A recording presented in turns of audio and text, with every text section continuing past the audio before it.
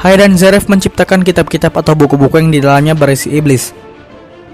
Fungsi dari iblis ini sendiri adalah untuk membunuh Zeref dan tentunya memerlukan iblis kuat agar Zeref bisa terbunuh. Nah di video kali ini kami telah memilih 10 iblis terkuat dari buku Zeref yang mungkin mampu membunuh sang penyihir hitam. Apa saja? Langsung saja. 1.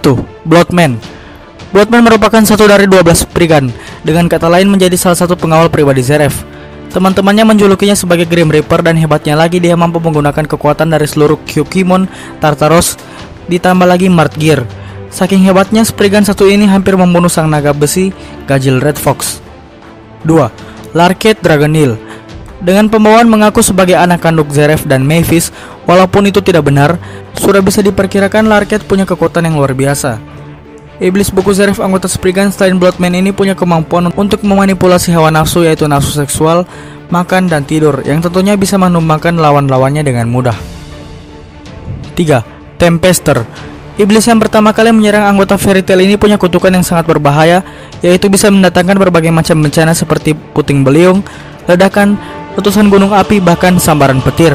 Tapi yang paling berbahaya ialah dia mampu meledakkan dirinya dan menjadi kabut hitam yang menyerang pernapasan orang yang menghirupnya. Sangat bersyukur Laxus punya paru-paru Dragon Slayer sehingga bisa menahan teknik bernama Masyorushi itu. 4. Jakal Jika Naruto punya Deidara maka Fairy punya Jakal.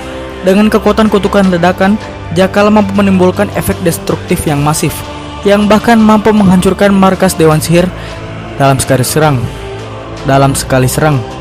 5. Kyoka Bisa dibilang merupakan pemimpin dari sembilan gerbang iblis, Kyoka punya kekuatan enchantment yang bisa dibilang mendekati level Iron Belserion. Selain itu dia juga mampu menyerap kutukan iblis lainnya dan paling mengerikan adalah ketika terperangkap lawan sekelas Erza bisa disiksa habis-habisan oleh Kyoka. 6.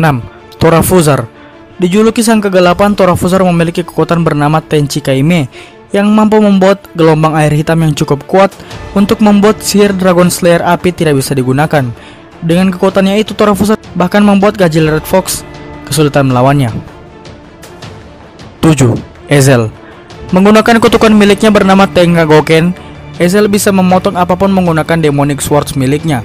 Bersyukur Wendy bisa bertahan hidup dan mengalahkan Ezel yang sebenarnya bisa dibilang merupakan anggota Tartaros yang paling barbar. 8. Kiss Dari penampilan Kiss sudah dipastikan merupakan iblis. Kemampuannya adalah necromancer yaitu mampu membangkitkan dan mengontrol mayat hidup dan dengan itu The Black Archbishop bisa menjadi lawan yang sangat berbahaya. 9. Mart Gear Secara mengejutkan Margir tiba-tiba hadir dan diperkenalkan sebagai pemimpin atau master dari guild Tartaros. Bahkan dia dipercaya untuk memegang kitab dari iblis terkuat Zeref, IND. Kekuatannya cukup simpel tapi menakutkan yaitu berupa tanaman berduri dan saking kuatnya dia mampu membuat Grey dan Natsu kesulitan. 10. IND Sejak awal sudah diperkenalkan sebagai iblis terkuat Zeref, IND ternyata singkatan dari Ethereus Natsu Dragonil Secara tidak terduga ketika ada di kondisi iblis, Natsu terlihat Natsu terlihat lebih kuat dibandingkan kondisi Dragon Slayer-nya.